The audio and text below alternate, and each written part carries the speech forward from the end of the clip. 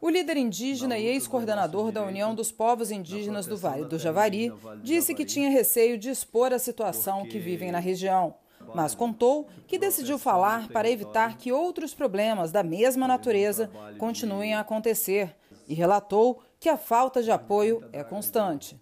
Jader falou sobre a relação dele com Bruno Pereira. Disse que o conheceu em 2010 e participou da luta do indigenista para tentar defender a terra da invasão dos garimpeiros e a defesa pelo direito dos povos indígenas e dos povos isolados. O que eu aprendi com Bruno, primeiro é lutar pelo meu território, lutar pelos povos indígenas.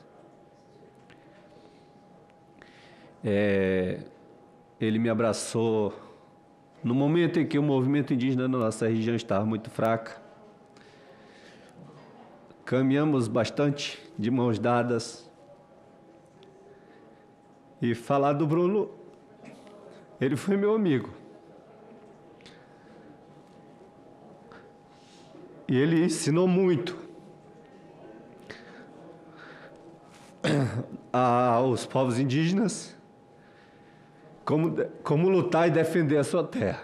O líder indígena diz que eles vivem com medo. Nós que moramos na região, a gente sabe o poder das pessoas que fazem parte do crime organizado, da forma como eles podem atuar.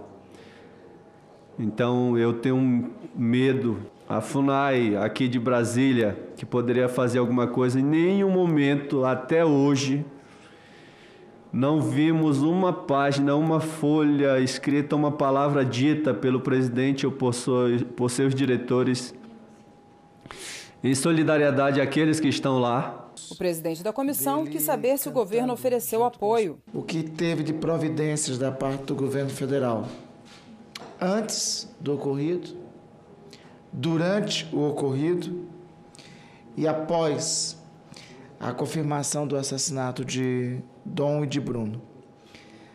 Na atualidade, houve alguma mudança? Qual é a realidade da segurança local sua e dos povos do Javari? Nada, senhor senador. Como eu disse para o senhor, como relatei aqui, chegou um contingente de, da Força Nacional para fazer a segurança da sede e alguns funcionários da FUNAI e só isso foi feito. Não tive, como eu falei para o senhor, não tivemos a hombridade de nenhum dirigente da FUNAI, nenhum representante do governo brasileiro falando pelo menos uma palavra. A viúva do indigenista Bruno Pereira falou que teve demora por parte do poder público para iniciar as buscas e investigações no desaparecimento do marido.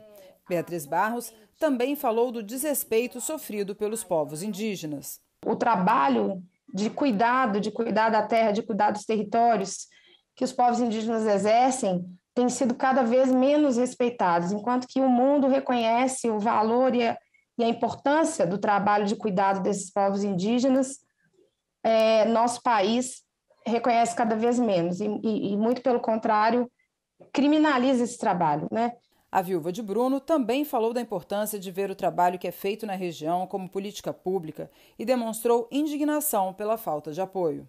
Eu gostaria que o presidente do, do, do Brasil, o, o, o vice-presidente do Brasil e o presidente da FUNAI se retratassem, fossem, é, é, fossem tivessem que se retratar em relação às declarações indignas, absurdas, que eles fizeram concernendo o trabalho do Bruno, é, e do Dom. É irreparável a perda do Bruno para o indigenismo brasileiro, para a política de isolados. Ele é uma figura que tinha 41 anos, ele ainda tinha pelo menos 30 anos de trabalho pela frente, então é inestimável o que a gente perdeu em termos da política para isolados, do trabalho lá na Terra do Javari, da, da reflexão sobre a relação do Estado com isolados, enfim é, né, o que dizer dos meus filhos, né, o que, que eles vão perder, eu, enfim, isso eu não vou nem colocar aqui na esfera pública.